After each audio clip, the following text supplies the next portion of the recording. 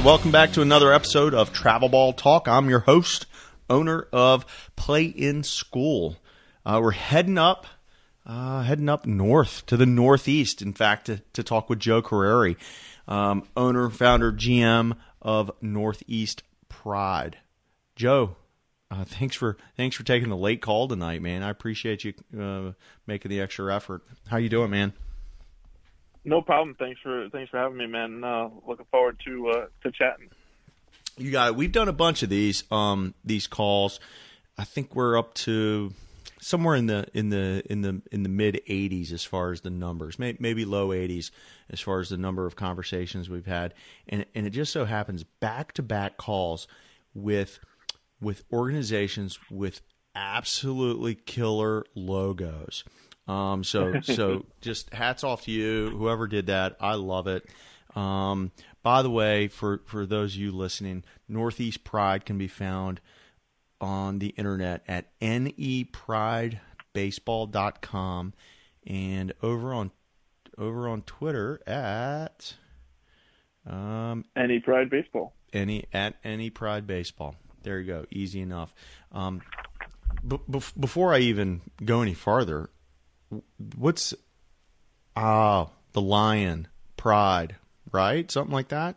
And that yeah the... yeah so yeah so i mean basically um the way uh the our graphics guy went with it when he designed it is you know we were going to go with the name northeast pride you know he went with the lion so you know like looking over looking over the northeast you know like uh you know kind of like a the pride. Yeah. um so uh you know, I think it's a nice little little twist on on uh, you know the word pride actually that that people wouldn't really really come up with. For, so for sure, the lion logo I think really really kind of drives it there. And it and it and it took me a half a beat. It took me literally talking about it out loud to make that connection in my head. Um, so it's yeah. it's very cool. So you guys listening, pull up the website, pull up the Twitter, and you'll see it.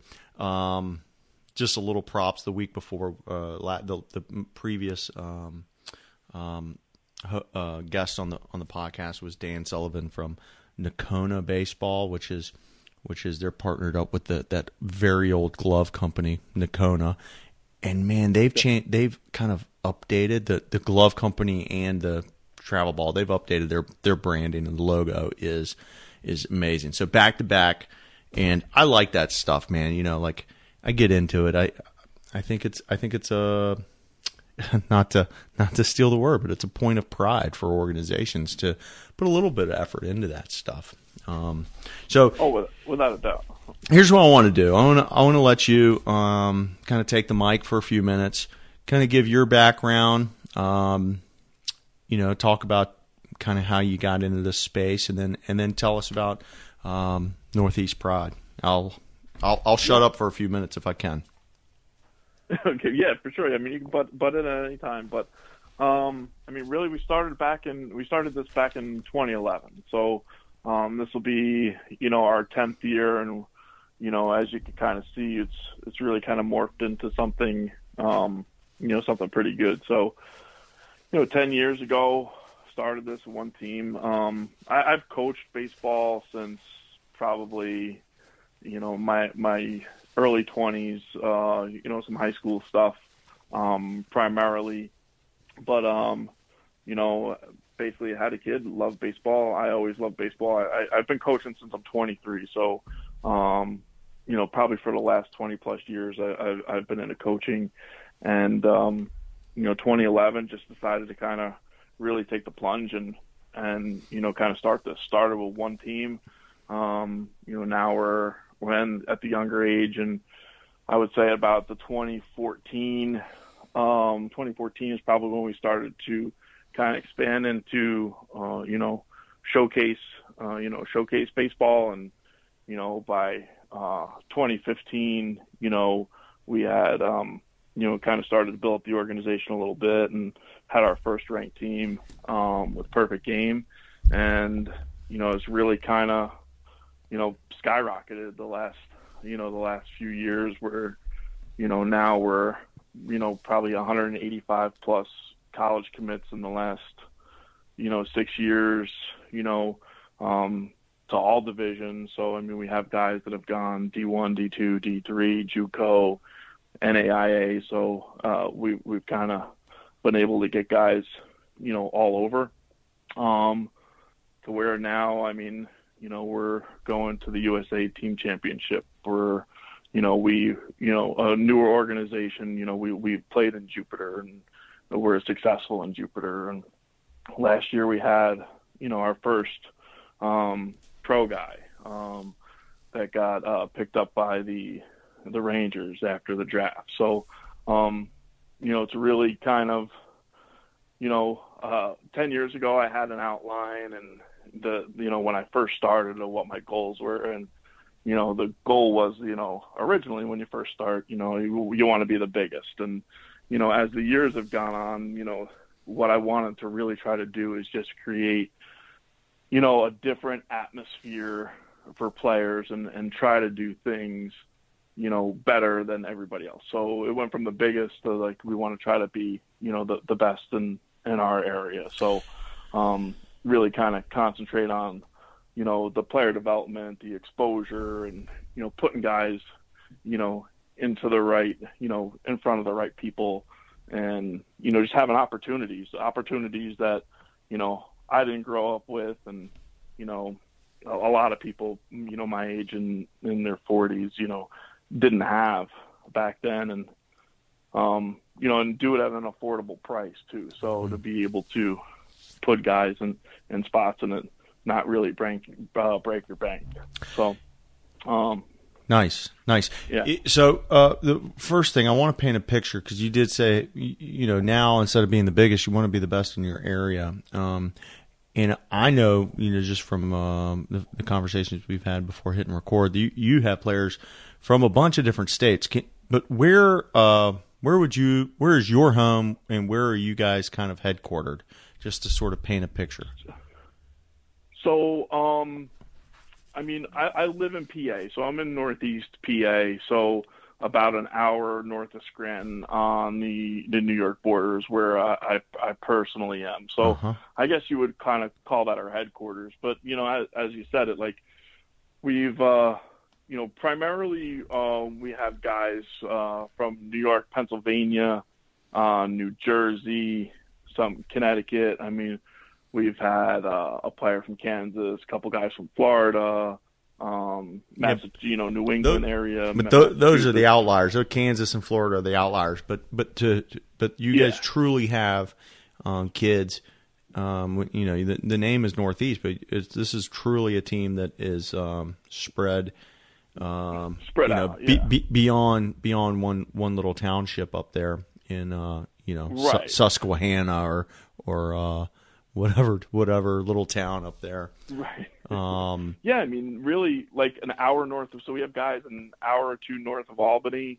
You know, straight down. You know, straight down the thruway. You know, into you know, uh, Dutchess, Orange County, Westchester, New York City, Long Island. So we really cover you know, a, a, good part of the whole state of New York. We have some guys from Syracuse, from Rochester area, so we really kind of hit every spot uh, of New York and in PA. You know, the the Scranton, Wilkes-Barre, Hazleton uh, area. You know, um, Harrisburg. I mean, we have guys out like in the in, towards the middle of the state, Sealing, Selinsgrove, Philadelphia. Um, New Jersey. So I mean, we're really really kind of you're really beating the bushes. Something.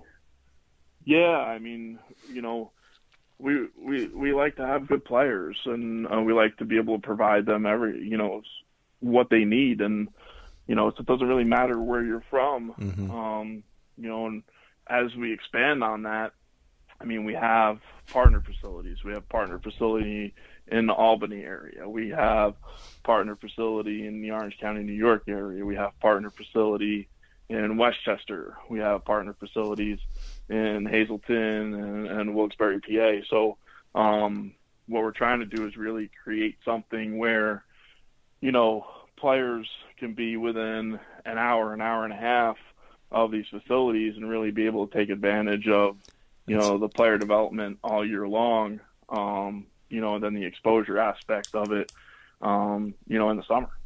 I, I have a feeling we're going to come back to this in a in a few minutes when when we go through this list of questions because there's one there's one specific question that talks about uh, practice and workouts. Uh huh. And yep. and so we'll we'll dig into that a little deeper.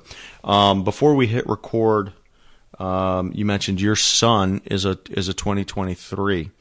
Um, do you just Correct. is it is it just the one son, or do you have uh, other children? I have four kids. So I have, my oldest daughter is 22. Um, then I have a son who is, plays at Lackawanna uh, uh, Community College. Yeah, so Coach McCary. went, yep, Coach McCary went to the College World Series. Uh-huh. Um, so he plays plays for him. Um, I have a daughter who's graduating high school on Saturday. Outstanding. And uh, and then my youngest is a you know sophomore, 2023. Holy cow! That place must have been bananas. They were like, uh, would you have like four kids under the age of like six at one point in time?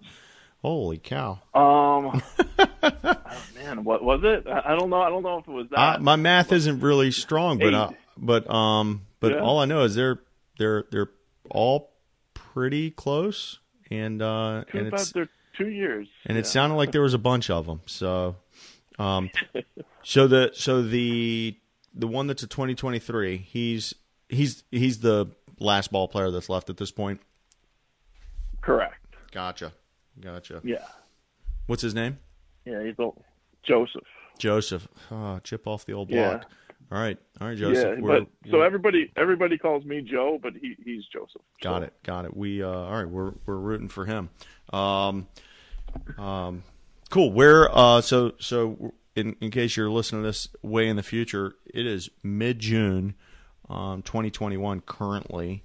So I'm assuming you guys have probably kicked off um, the travel ball um, um, circuit maybe maybe last weekend. Um, yeah, just this last weekend. Um, you know, usually we start on a normal year. We would start um, the first weekend in June, and we usually have our our big scout day. Yeah. Usually, like the one of the first days that uh, recruiting starts. Mm-hmm. Um, but this year, with uh, you know, still with some COVID issues and New York's high school season kind of being moved yeah. um, back about two weeks. Um, you know, uh, we started this weekend. Um, we're still missing a bunch of guys because of, of, of New York playoffs, but sure. you know, we're able to, to manage it and you know make everything work and you know get get guys out there this weekend. So um, yeah, yeah, we're we're running through this the same thing. High high school's gotten pushed way back. Um, I think we're currently in the in the playoffs, but you know, uh, school ends here in a couple days, and the baseball season will just keep going. Apparently, um, right? You know, so meanwhile, the the travel ball season is going to take the um, kind of the brunt of that, um, which kind of which I mean, whatever. It's it kind of stinks in some regards, and and it's good in in in other ways, I suppose, to be able to get that high school season in. Um, right. All right. So, like I was telling you, we, we we're doing kind of a new uh, new format. Run through these five questions. Um, we'll we'll peel off in any direction we, we need to. If it if if uh, you know if uh, if we need to, I suppose, and when we need to. Uh, but but I've been I've been enjoying getting to hear uh, different coaches given given some different answers. I already know we're going to go in some different directions with you. So let's uh let's warm you up with uh with a softball um for, with the first question. Um, sure. What book should every coach read? So me personally, I'm I'm not a big reader. Um, I don't read a ton of books, but um, I'll I'll give you a movie. I would lo- I would love a movie. So so just like with going through the re- recruiting process here with my younger guy, you know, a bunch of different coaches, you know, obviously ask and, and do a lot of different things. So um, one of the things that he was actually asked to do probably about a, a year ago was watch the movie Warrior. And I thought it was different. Like I thought it was, you know, definitely something different that somebody would ask. So I'm like, never heard of the movie. I'm like, let me. I'll sit down and I'll like I'll watch it with them and kind of kind of see. And um, you know, watching the movie, I mean, it's really it's like it's a family family movie about like MMA fighter. Um, uh, one's a marine, comes back and like mentally disturbed. The dad's a drunk, and then you have the other one who the other brother who's like this straight laced guy who needs money and goes into this MMA fight, and they it's like a it's like a, a true like underdog story um, type of thing and perseverance. So um, I find it I found it like really interesting and um, just a different type of story, and, and it's probably not something a lot of people have have watched. Um, but I mean, I, I highly recommend it just based upon the story and and the you know the underlying stuff that kind of comes out in the movie. I, I think it hits a lot of different a lot of different things, and it's not one of those mainstream movies where everybody's going to know. So, um, you know that that would be one that I would I would recommend. It's kind of like an off the wall one. I'll take it. I'll take it. I like that. It's on the list. Going over to net, Netflix as soon as we get off. Um, cool. Number two. All right. Uh, what regret or failure changed the way you coach for the better? Regret or failure um, that yeah, changed you for the when better? I was younger, yeah, when I was when I was younger, when I started coaching and I was younger, um, when I came in because I, and I I was a younger guy trying to coach high school level and um you know I felt like I needed to try to gain players respect and I was I was like that hard ass like you know yell be really hard be really difficult and you know try to make their lives miserable but while making them better and kind of as I got older you know I think I've I've completely changed from what I started out as, and I'm like the exact total opposite now. So you know what I, I kind of learned as I went is the the more the players, you know, respect you. Like you don't have to be a hard ass to be respected. Um, I think you just need to be straightforward and honest with them, and not necessarily be their friend, but um, you know, just just relay things differently, and I, I think that has kind of really turned. And um, you know, it's kind of how I try to try to go through with this with the whole organization as well. So, um, you know, I think it's just, you know, I think I had to be a hard ass when I was younger, um, but you know, it definitely kind of morphed into the total opposite of what what I started. So, mm-hmm. I think that's Wait, at what, at what point do you do you think that transition started to to happen? Um, I mean, probably sometime, you know, my late twenties. You know, uh, you know, I I I started to to change mm-hmm. because uh, players started to re- react differently. I think when I when I when I changed, I got I got I got I ended up I, I always got good, I got good results the other way as well. So it's not like I wasn't getting good results. I but gotcha. um, I, I feel like the overall atmosphere was just better. Um, yeah. You know, so um, you know, I mean, being a hard ass works for some guys, you know, and you know, doesn't work for other guys. So it's just really kind of depends depends on your players. But you know, I want I want the players to learn and get better but they also need to have fun when they're playing the game. Um, if they're not having fun when they're playing the game and you're not having fun when you're coaching it, you know, it, it is it is a game. You know, so um, you know, I think mm-hmm. having fun, you know, that fun atmosphere, you know, creates a winning atmosphere as well. So for sure, for sure, um, yeah, there's a lot to be said about maturity and just being able to identify that in yourself as you as you got a little older. That's good. Yeah. That's good. All right, here here we go. I think this is going to open up a little bit of a can of worms for us. Uh, question number three: How much midweek practice do you guys run, and is it uh, team practice or individuals? And uh, I think we got a little preview into this with uh, with what you guys called your partner facility. So now I'm I'm uh, curious to talk about this. Yeah. So I mean, kind of what we do. Um, so usually what we do with our older guys, our younger guys are a little different. But like, so let's say our older guys, um, say high school ages and up. Um, usually what we'll do um, before the season starts is we get everybody together. So we'll do full team workouts. So wherever you're from, like you are coming, you're coming to you know usually Pennsylvania. Uh, this year we did it in uh, New York because the weather weather was bad. We had to do it inside, but so usually bringing everybody in. Um, we'll do full team, you know, full team workouts.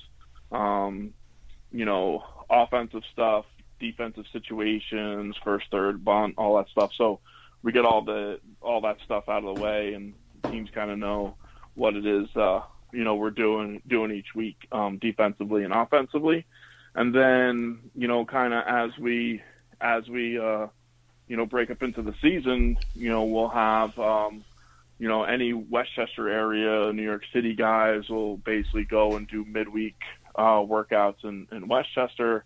Um, our Albany area guys will go up and, and work with uh, uh, a Chamber Sports Performance up there in, in Albany area, which is one of my scout team coaches runs that facility. Um, so they'll they'll work out up there, usually multiple days a week.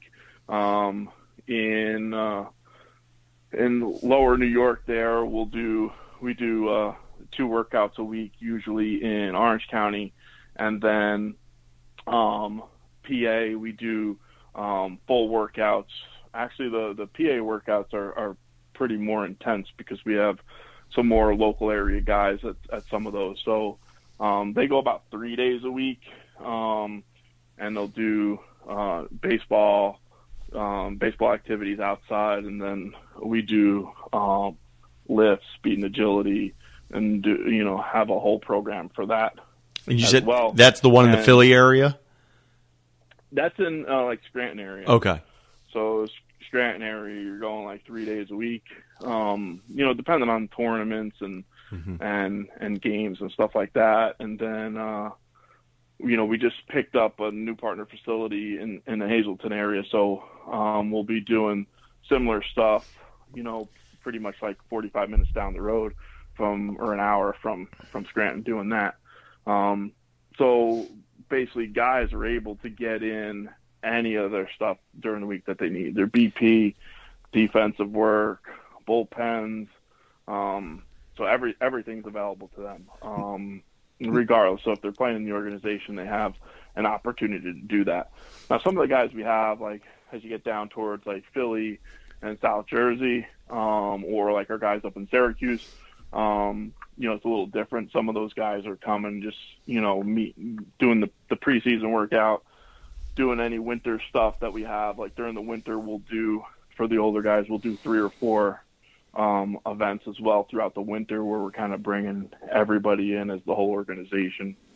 Um, so, you know, while, you know, we, we just want to make sure everybody is is taken care of. Now, now I'm know, development I'm, wise. I'm I'm kind of curious, and, and I could imagine there might be one person listening who who maybe is in a similar situation where they're spread out geographically, and and so is this is this literally like uh, where you guys reach out to a facility that's in this area and you say, "Hey, we're my team's going to rent this space from you, whatever it's a cage, a tunnel, the whole place, whatever."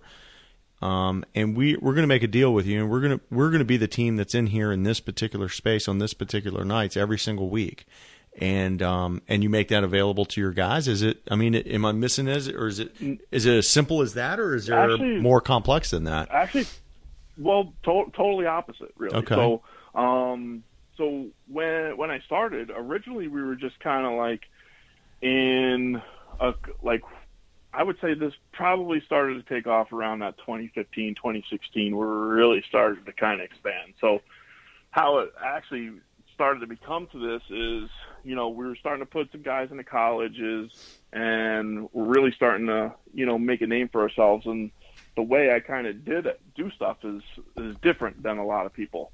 Um, so it kind of caught the eye of, of, um, you know, uh, a guy up in Albany, which is Dan Sawsville around Sauce Baseball. And he had about 25, 30 guys. And he was like, listen, he was like, I really like what you're doing. Like, I want in. Like, mm. I want to bring my guys in. I want to be part of what you're doing. And he was like, so that's really kind of how this all started to morph. Um, you know, so we started getting guys from Albany, and then somebody put me in touch with with Eric Holtz in Westchester, who he's the manager for Team Israel for the for the Olympics. Nice. Um, so you know, then we kind of got that Westchester connection, and um, you know, and then last year, you know, we had some talks with uh, Mike Petrosky out of PA, and he brought a couple teams in as well, and just wanted to be part of the brand and kind of help build what we're we're doing, and and now um, Orange County, we're, we're Orange County, New York is a little different because we're just we're doing pretty much what you said. There's an independent facility, and we're kind of gonna kind of go in there and run run baseball gotcha. activities in, in, there, and then um, GSA Gutsy Sports, which is in Hazleton. Um, you know, we just uh, we used their facility a little bit this winter. They had a couple, they had some teams, and and that Northeast PA area is like a hotbed for baseball. So there's a ton of talent um, there, and you know we really wanted to take advantage and hook up with them. So we we got that. So they have a couple teams that are going to come in and be part of the brand, and um, really just kind of keep going. Um, you know, we're looking to kind of get out towards like Williamsport area in uh, in PA, and you know we'll just kind of keep keep moving. But really what it is is, you know, just creating what we've created. Um, you know, people people want to be part of it. So, mm-hmm. um, I, uh, I like it. That's a that's a you know what that's a pretty good compliment if they're reaching out and saying, hey, we got some, we like we like what you're doing and um and we got some guys. That's a that's the ultimate compliment. Uh, if you're running yeah. an organization. Cool. Well, that uh, that's that's good. This is that's good information. All right, here we go. Let's see number number four. I'm not going to skip any here. What's the one piece of advice you'd give someone that's just starting a travel team organization, or if they're opening up a facility? I mean, you've been inside enough facilities. You can give give advice on the team stuff and the facility stuff. Yeah, I, I mean, honestly, I mean, be as honest as you can. Um, I mean, if you talk to any of the guys or parents or anybody who plays for us, I'm pretty straightforward.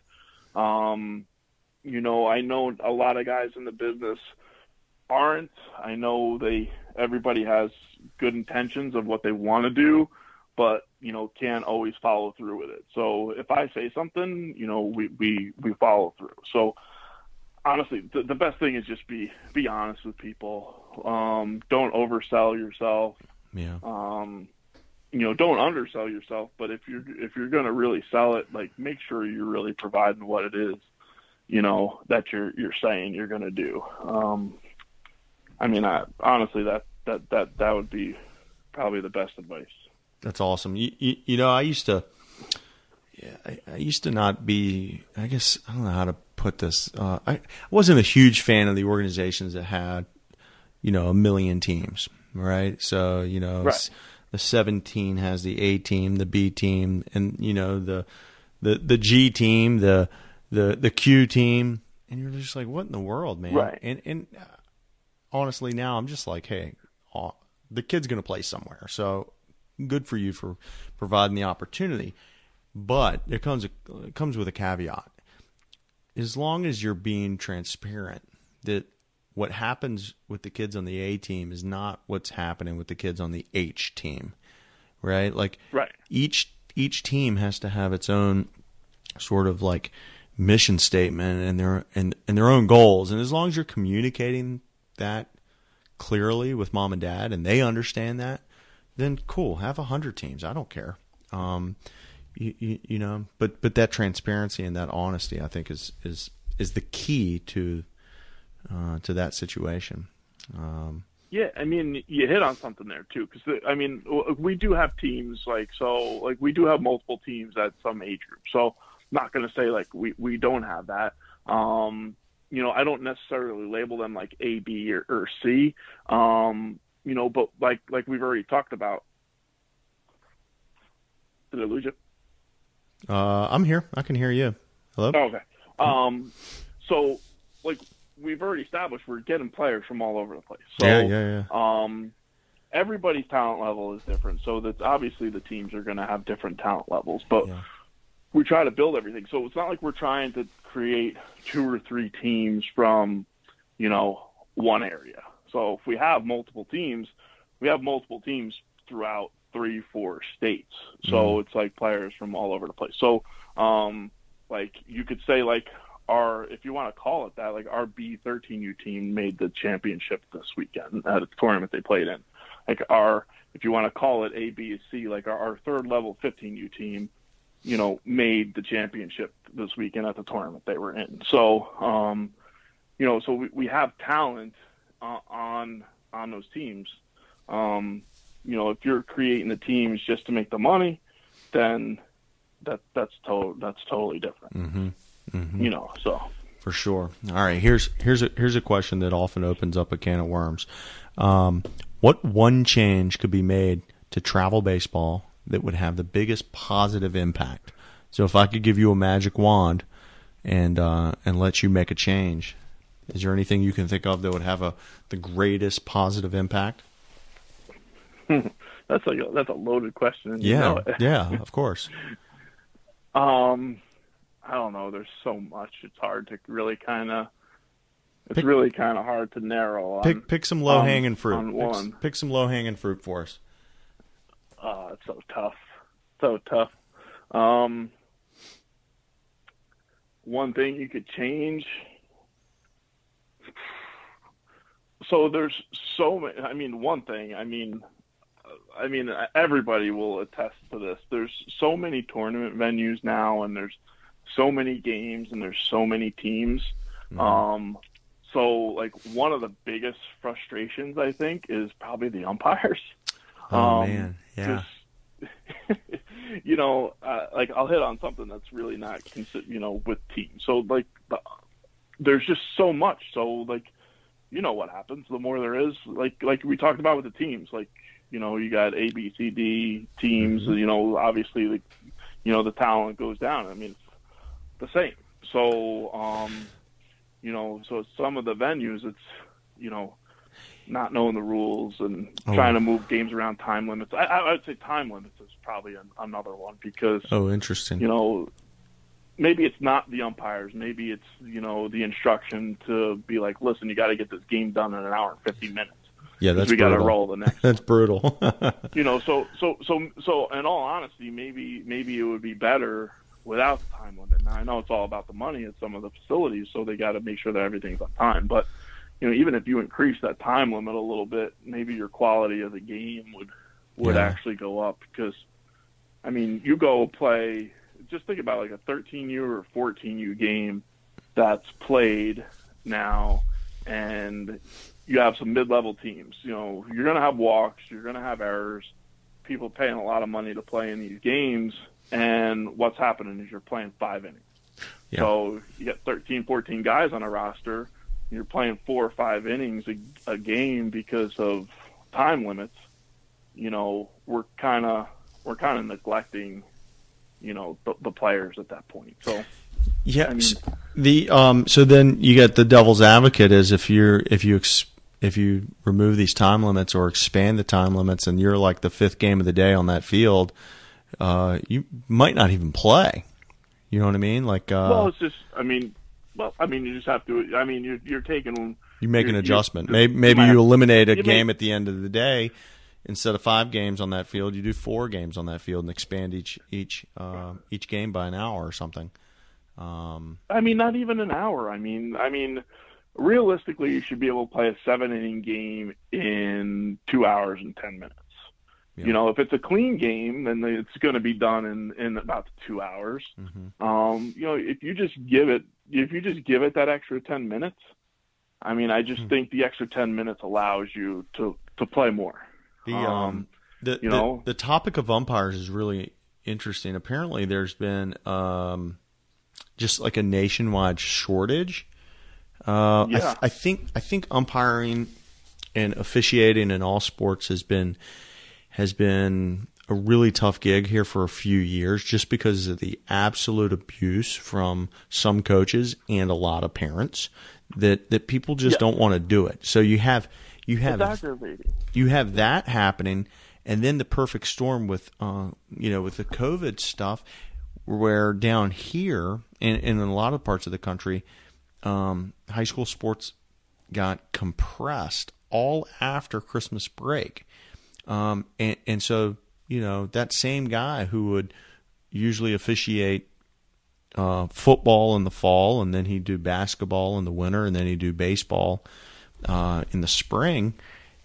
That that's only one guy, and we got we got so many different seasons going on simultaneously right now uh, that just it's just run thin to the to the point where I've right. I've I've heard of situations where umpires just aren't showing. Like there's that few. There's like a there's a there's like a nationwide shortage, which is um which is yeah. I'll tell you, I think you've I think you've you you you uh, I think you've hit on a really important issue that may per, perhaps this is a um, a problem that um, some of the you know these leaders in our youth sports industry, your youth baseball industry, can help with.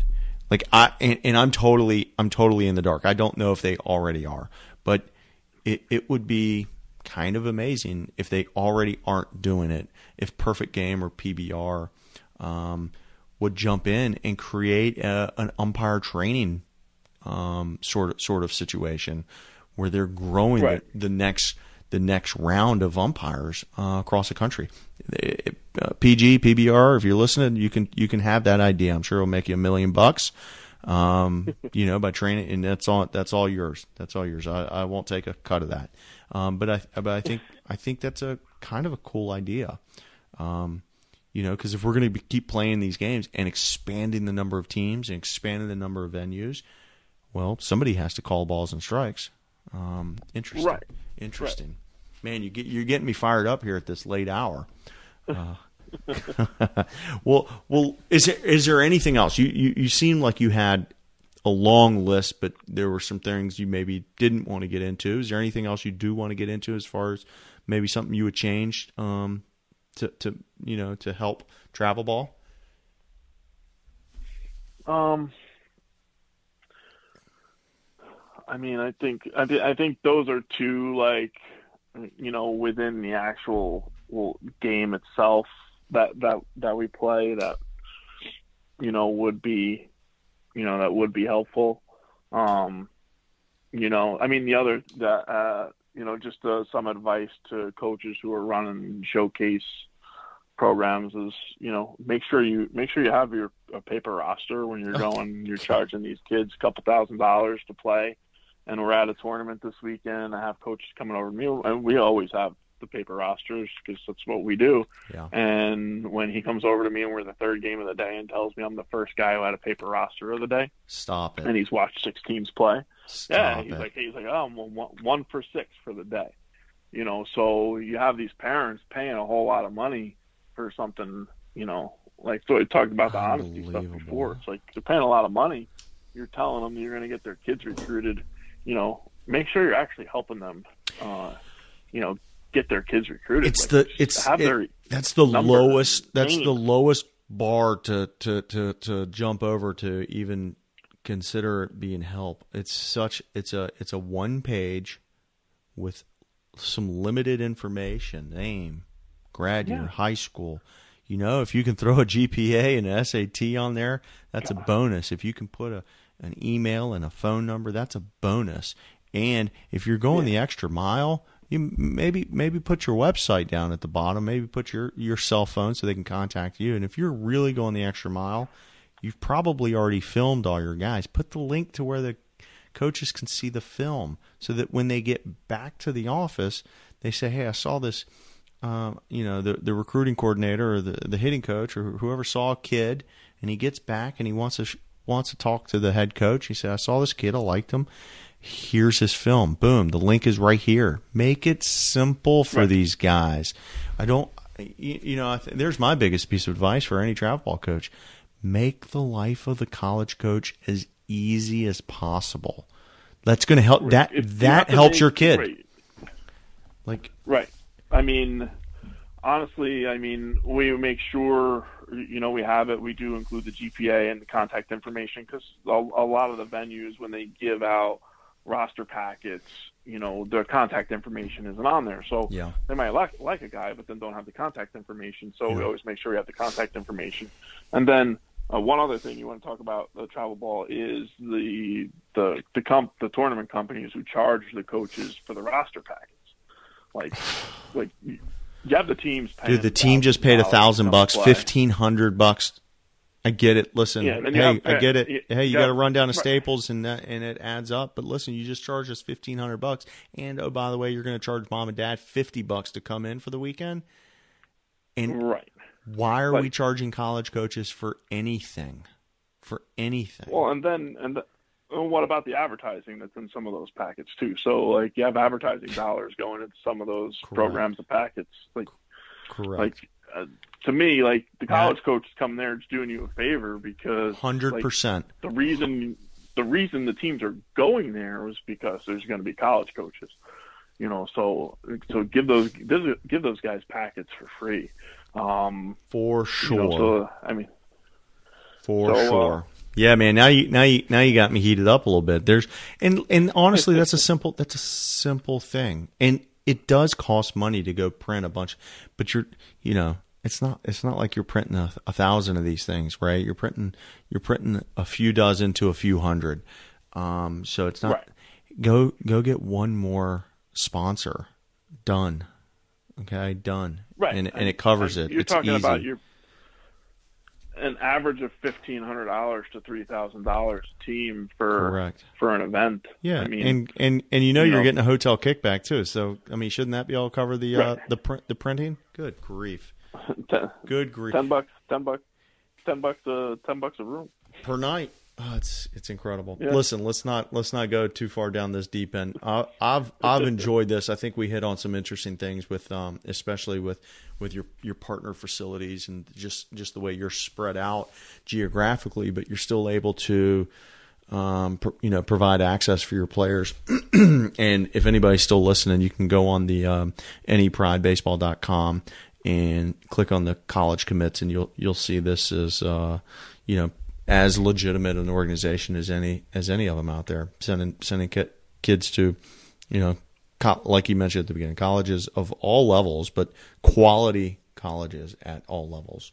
Um, so congratulations on that. Do you have any other sort of you know parting shots of wisdom for for you know the three listeners who are left with us at this point? no, I mean that's it. I mean I really appreciate you having me on, and you know it was a pleasure, pleasure talking, and you know thanks for getting us out there. All right, listen, stay stay on the line one second. I'm gonna hit. Um, I'm gonna stop the recording. That way we can really get into the dirt. Sure.